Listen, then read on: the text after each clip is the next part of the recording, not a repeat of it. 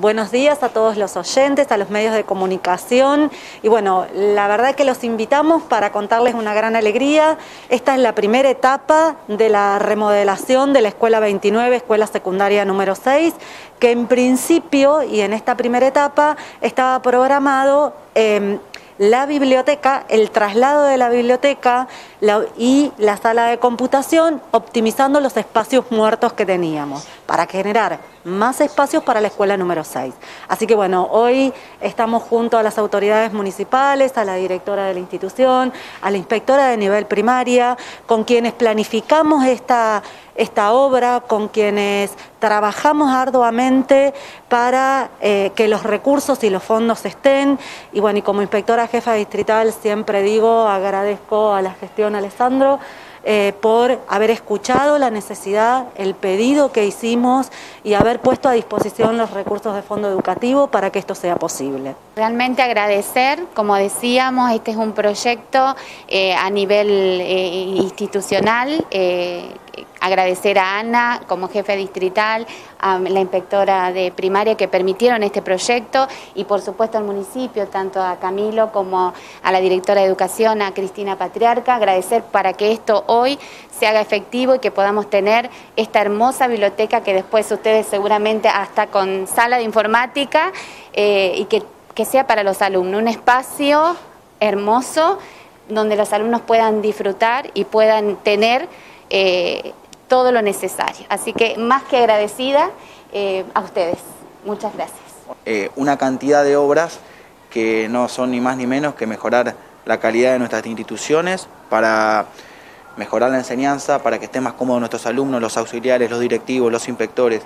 Y la verdad que nosotros pasamos y lo que quedan son las obras.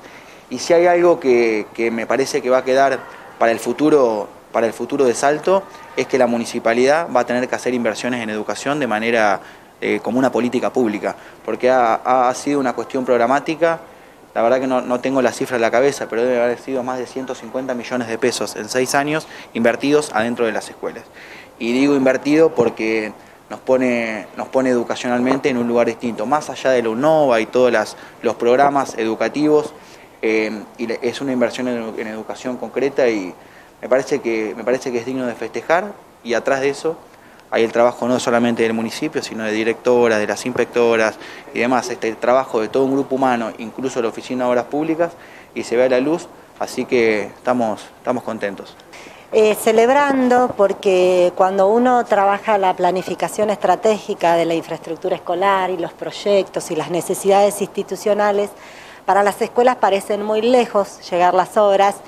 y no puedo olvidarme cuando Roxana y Alberto a principio de año dicen, ¿se va a hacer la obra? Por supuesto, hoy es un hecho, es una realidad. Toda obra tiene una planificación, un tiempo de gestión que lleva plazos que no son los que deseamos todos, pero que son necesarios y hacen a la transparencia de la gestión y bueno, gracias a que fueron visualizados por los inspectores, por los directivos, eh, desde el municipio tomamos esa necesidad y pudimos trabajarla para darle el resultado a una escuela que necesitaba tener su autonomía, su independencia frente a la convivencia con la que siempre conllevan con la secundaria número 6. Bueno, a partir de esta obra y de esta reinauguración de la biblioteca, la secundaria va a poder contar con su ingreso propio y la escuela sigue sosteniendo un espacio propio de aprendizaje para los alumnos, que es lo más importante que tenemos que priorizar, con sala de informática incluida. Así que bueno, eh, gracias a todos por acompañarnos y confiar en nosotros en que con tiempo los, los proyectos se logran.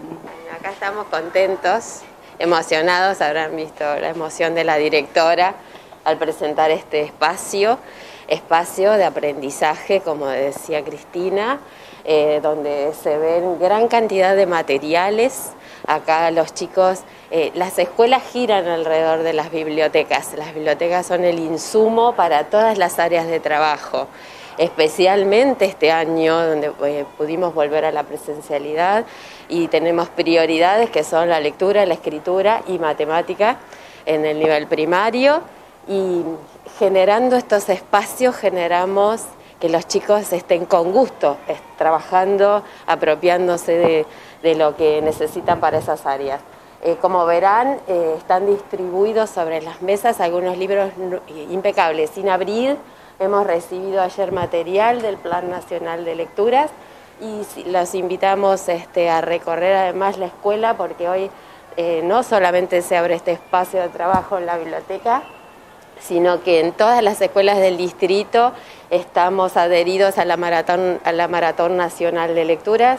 Este, todas las escuelas hoy están leyendo, están este, socializando eh, dentro de los protocolos este, establecidos eh, lecturas y escrituras que ellos mismos han trabajado durante estos últimos días. Ah, y quería decir que estos libros que ven aquí, Nacional de Lecturas, que también todas están recibiendo en estos momentos desde el Ministerio de la Nación.